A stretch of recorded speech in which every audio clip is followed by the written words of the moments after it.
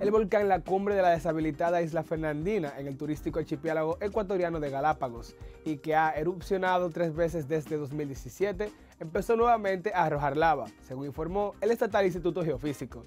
Detalles ampliados con la agencia AFP.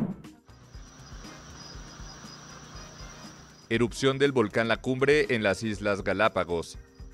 El volcán registró en la noche del sábado una emisión de gas que alcanzó los 3 kilómetros de altura, según informó el Instituto Geofísico de Ecuador.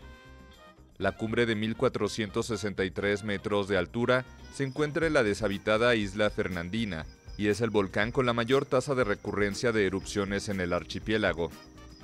Las autoridades recomendaron a los turistas permanecer alejados si los flujos de lava ingresan al mar, debido a que se pueden producir explosiones pequeñas y la liberación de gases tóxicos.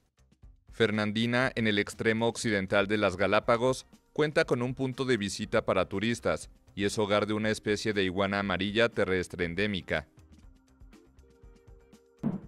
Tenemos estas y otras noticias a través de nuestra página web rnn.com.do y nuestras redes sociales noticias rnn.